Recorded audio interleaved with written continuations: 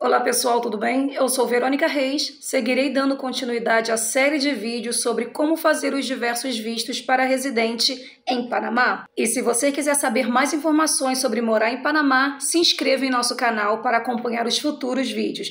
E querendo aprender como ganhar dólar morando em Panamá ou em qualquer lugar do mundo, é só clicar no primeiro link da descrição. Vamos dar sequência falando dos vistos que estão dentro da classe Razões Demográficas. O Panamá oferece diversos tipos de vistos para estrangeiros que desejam trabalhar no país. Autorização de residência provisória por razões demográficas, reunificação familiar casada com panamenho ou casado com panamenha.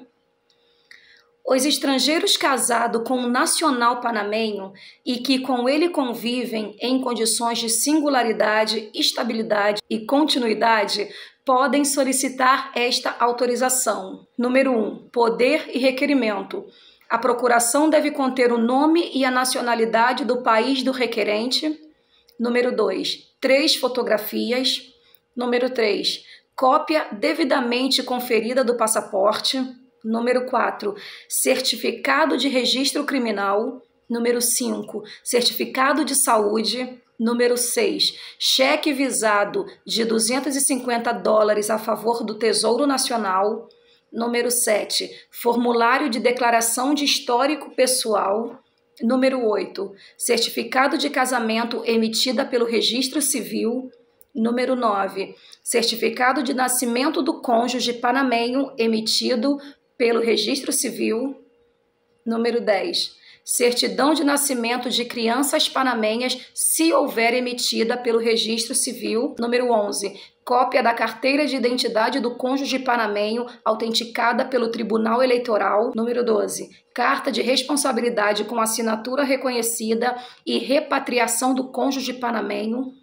Número 13. Documento que comprove o endereço civil, contrato de locação, título de bens ou recebimento de serviços públicos que comprove o endereço exceções à regra. O Serviço Nacional de Imigração pode dispensar a entrevista de casamento dos estrangeiros que têm dois filhos panamenhos em comum. Exceção 2. O requerente que tenha ficado viúvo ou divorciado durante a vigência da duração da autorização provisória e ocorreu durante o casamento, ele pode optar pela residência permanente, no primeiro caso, você deve fornecer um certificado de morte do seu cônjuge e as certidões de nascimento dos filhos nascidos em matrimônio.